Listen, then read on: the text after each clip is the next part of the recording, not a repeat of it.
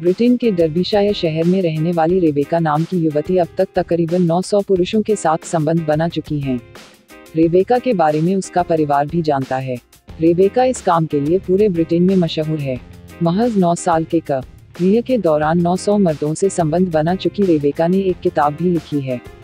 The girlfriend experience नामक यह किताब खास टिप्स संबंधी जानकारी देती है। रेबेका ने अपनी ज़िंदगी के बारे में बताती है कि उसने कई मर्दों के साथ संबंध बनाए हैं। रेबेका ने कहा, जब मैंने पहली बार किसी मर्द से मिली तो मुझे उस्क। एवज में लगभग डेढ़ लाख रुपए मिले थे। रेबेका ने बताया कि जब वह पहली बार ग्राहक के पास गई थी तो उन्हें उनकी माँ ने ही बस स्टॉप तक छोड़ा था। अपने जीवन से जुड़ी एक घटना का ज़िक्र करते हुए रेबेका ने बताया कि जब एक बार उन्हें बैंक लोन की ज़रूरत पड़ी तो उन्होंने अपने काम की जानकारी बैंक अधिकारी के सामने दी थी, जिसके बाद बैंक ने तुरंत लोन देने के लिए हाँ कर दिया।